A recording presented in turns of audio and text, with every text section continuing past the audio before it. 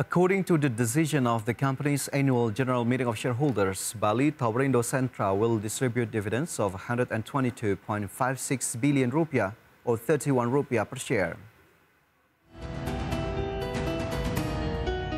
Bali Towerindo Sentra will distribute dividends of 122.56 billion rupiah or 31.15 rupiah per share.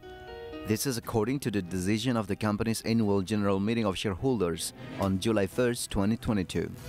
In the disclosure of information, the annual general meeting of shareholders approved the determination of the use of a portion of the company's net profit for the financial year ending December 31, 2021 for the company's reserve fund of 9.42 billion rupiah.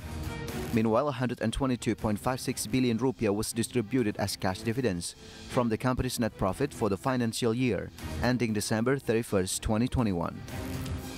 The annual general meeting of shareholders also agrees to authorize the board of directors to determine the announcement date, recording date, dividend payment date, and other technical matters, as long as it is in accordance with the regulations of the stock exchange where the company shares are listed. IDX channel reports. And the news close our market headlines today. Please enjoy our next program on IDX channel, your trustworthy economic, business, and capital market channel. I'm Fajar Wayong. Have a nice evening. Happy weekend.